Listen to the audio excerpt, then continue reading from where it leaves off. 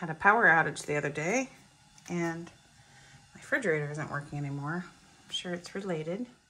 Video is for general information only, not advice. By continuing, you agree you have read the warnings and release all liability. And here is the model number.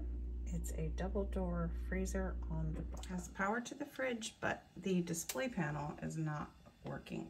And the compressor is not running and there is no clicking as some people's videos indicate from the relay, which is somewhere in there. Make sure you unplug the power.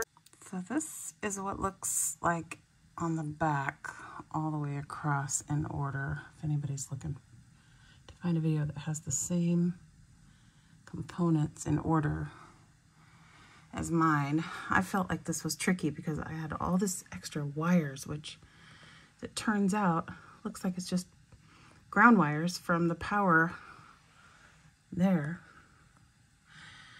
But when you move them out of the way, again, make sure you unplugged your refrigerator.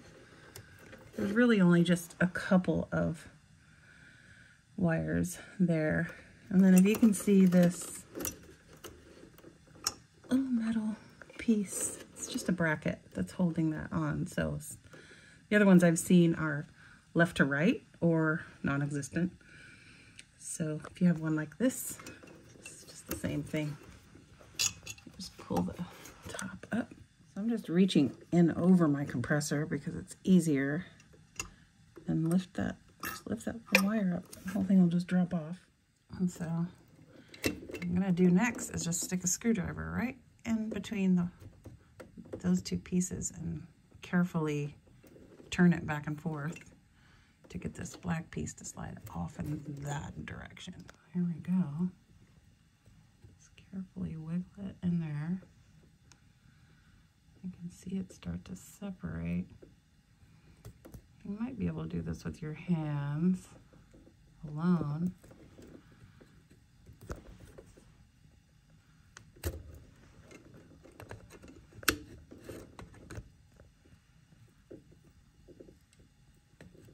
There we go. I felt it slip. And just make sure it comes straight out. I think I can get it with my hand now. There we go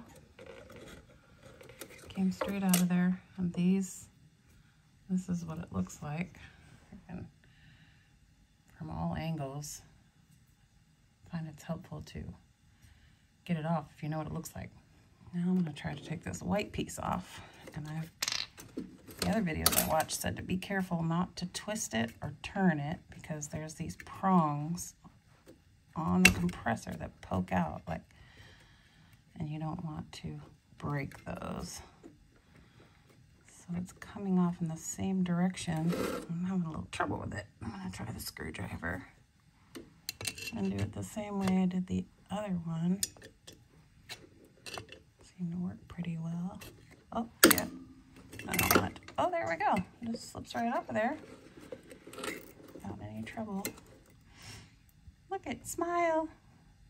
So note that the single hole there is on the bottom and not the top. Some of them are the other way around. That's what that looks like. And there are the pins. Oh, trying to get a good picture for you.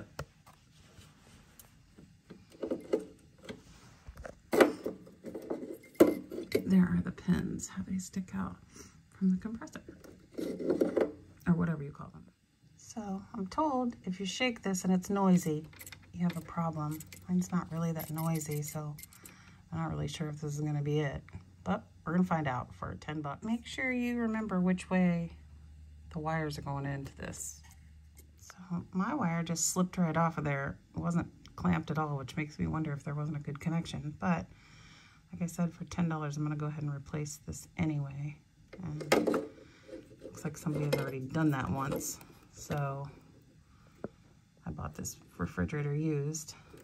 There's electrical tape there and there. And I'm to this point. Here's a part number that was on my relay or whatever it's called. I'm no mechanic, but um, Let me see if I can pull this out of here with one hand. So you can just see that it pulls straight out. Yep. So there's the other one. So here are the pieces I'm going to take to my appliance parts store. And this really took me less than 10 minutes. So, and that includes pushing out the refrigerator from the wall and unplugging it. So and in case this becomes confusing, I want to just note that I said somebody did some work before on it, it looks like.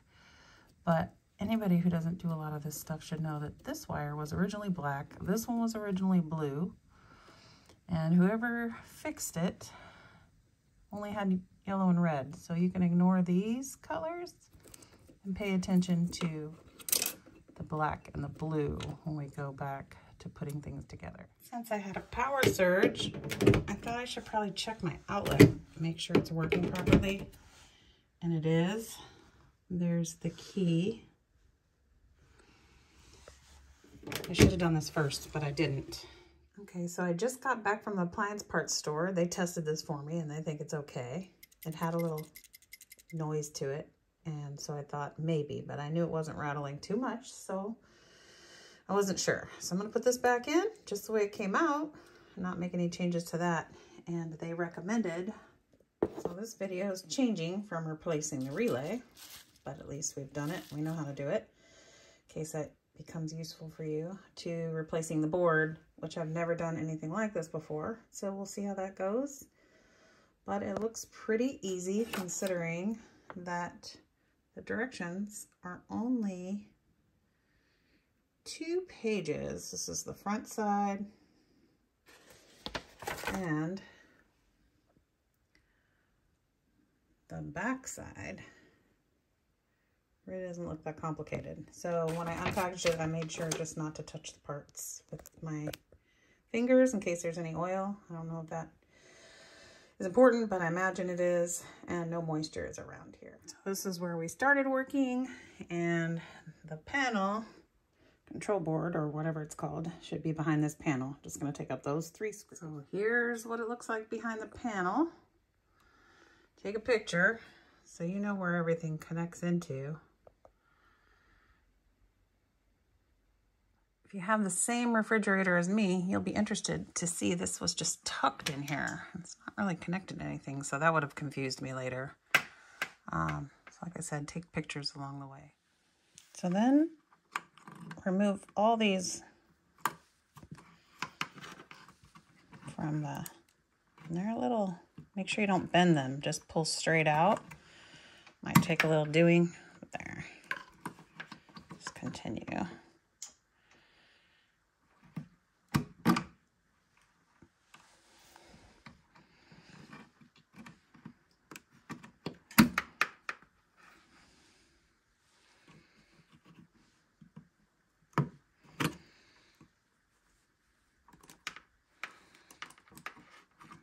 see. Are there any more?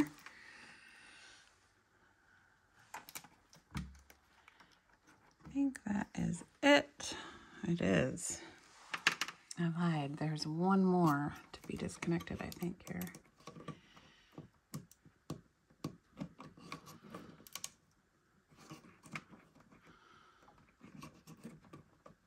Mm, I don't want to break anything.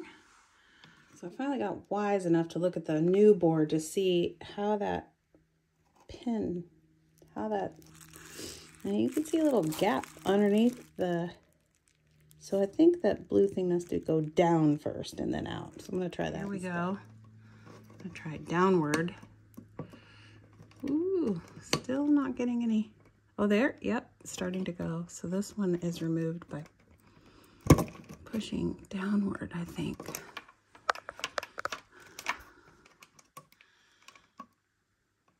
a little challenging. I might have to wait till I pull the board out and then get this one off because the wires are having trouble getting down any further. So a little side note, I noticed that my new board has this ground wire here and my old board does not, which might explain why my board burned out during the power out. Okay, so I didn't know how to remove the board, but I could see there's this little tab here right there sticking out that I knew I couldn't pull the board off.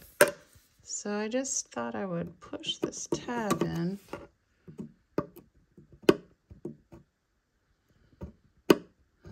Hard to do with one hand on the phone.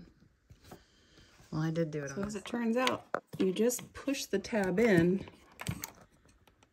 and pull the board as you're pushing the tab in. It shouldn't uh, stay in. And then, so these two, just push the tab and pull it out a little, but it's also connected. So those were up here. And there's also two right there and there. Here's what it looks like behind. And be careful when you're pushing these tabs in because the very first one I thought it stays in because it I think I broke it. So all you need to do is just push it in and then wiggle the board off of it and let it fall back into place. And the last connection is this light blue one and it did slide, it was this way, it does slide straight down and the wire harness was just too close to the edge for me to get it off. So there it is. Now the board is free new board. Now the appliance parts store said you could look behind it and see if it had any burn marks and I don't really see anything except that tiny little spot. So if that is enough for it to be burned out, then you know to look for just something just that itty bitty. Okay, I got to something confusing on this step of the instructions and it says to eliminate this wire in pin 2 of the J1 connector. So it looks like right in that 9 pin connector, the second one, second wire and they want you to cut. I was freaking out a little bit about that until I realized that my current 9 pin connector doesn't even have a wire in that. So that's already probably been done for me.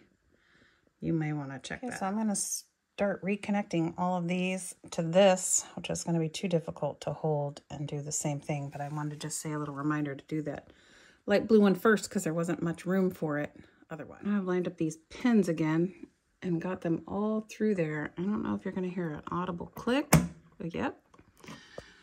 So pressing those in. This one I broke, so hopefully that doesn't cause a problem, but I may just put a little piece of plastic through there. I think it's okay. It seems to be seated pretty well, so I'll just leave it alone. Okay, putting the panel back on, you just want to make sure that ground wire there, oops, sorry, the ground wire there goes through the screw on the back no fun one here. Tucked the wires and put the panel back on. Now, gotta replace my relay switch that there was nothing wrong okay. with. Red was on the bottom.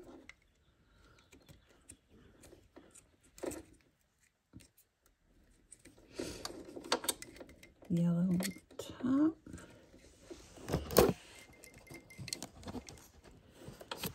line up those three pins, push it straight on.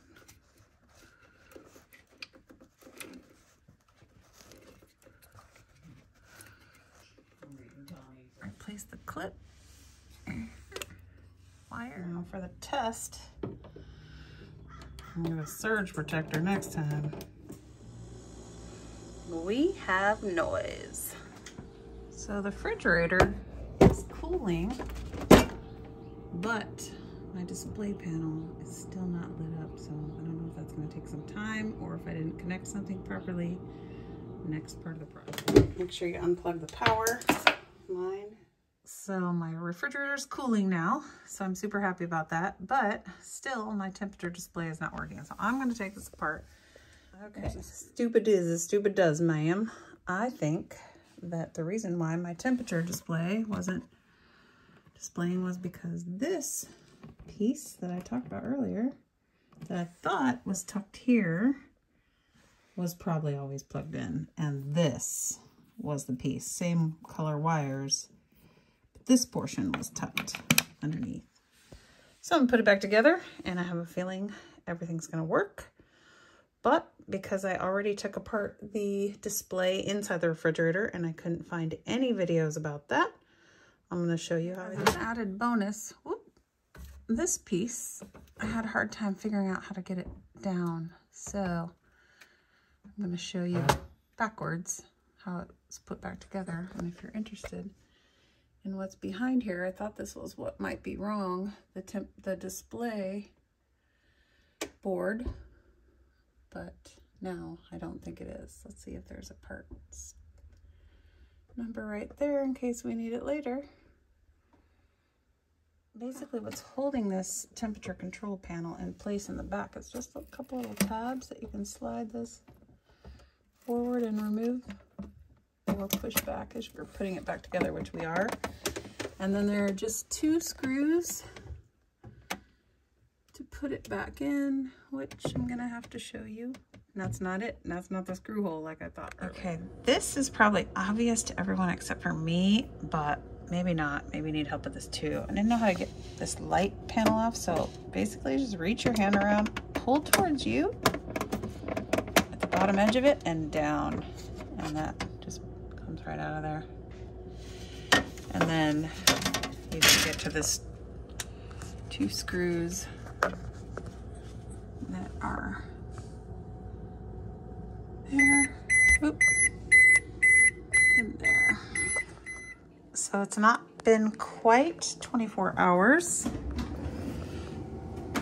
And we have ice and our temperature is almost back to normal. I hope my first video has been of some use to you. Obviously, I'm rewarding my success with an ice cold